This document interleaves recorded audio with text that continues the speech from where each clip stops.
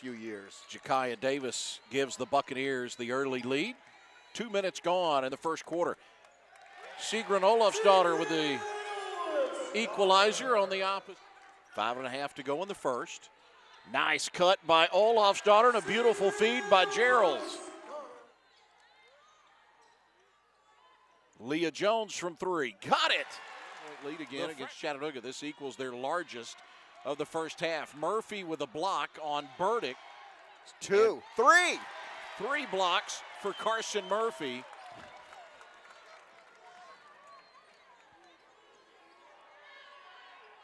High off the glass goes Pugh. There's Murphy.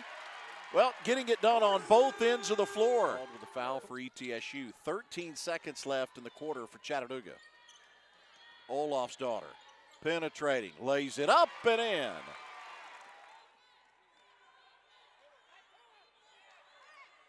Gerald's from way downtown. Here's Jones. Open look, Leah Jones from the corner. Porter from three. And there's Murphy with the rebound and the putback. Lost on Monday to Samford. And this is a completely different group for ETSU. On the road. A place that you've talked about that they haven't been successful so far this year. Pugh. Here's Hample. Going up, basket, the foul. Race on. It kind of limited her performance. They took it off in the first game. She scored 17 and then got 15 two games later. Dina Geralds. I mean, those are those are flat-footed. Pugh draws a crowd. Here's Murphy, open from three. Got it. The block on one end, the three. Gerald's wide open. Got it.